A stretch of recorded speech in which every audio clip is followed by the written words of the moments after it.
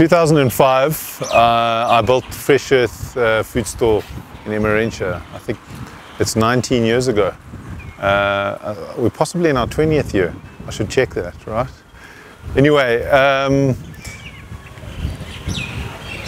yes, yeah, this is hard, but we've we've made a decision because of circum certain circumstances that uh, we need to close the Emmarentia branch. We uh, are consolidating our business down to uh, the factory business and our one restaurant temporarily while we plan um, further stores. So it's one a case of one step backwards, two steps forward.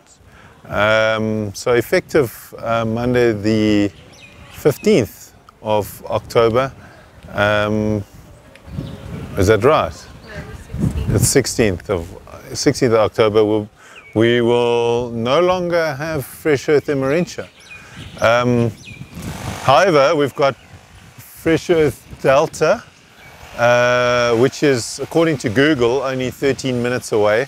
It's less than 8 k's away and a very quick and easy drive.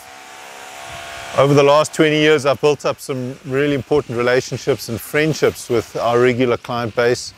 Um, I'm hoping that those will continue um, at the new store where you will see me and my team and the same menu and the guaranteed uh, yumminess of our food.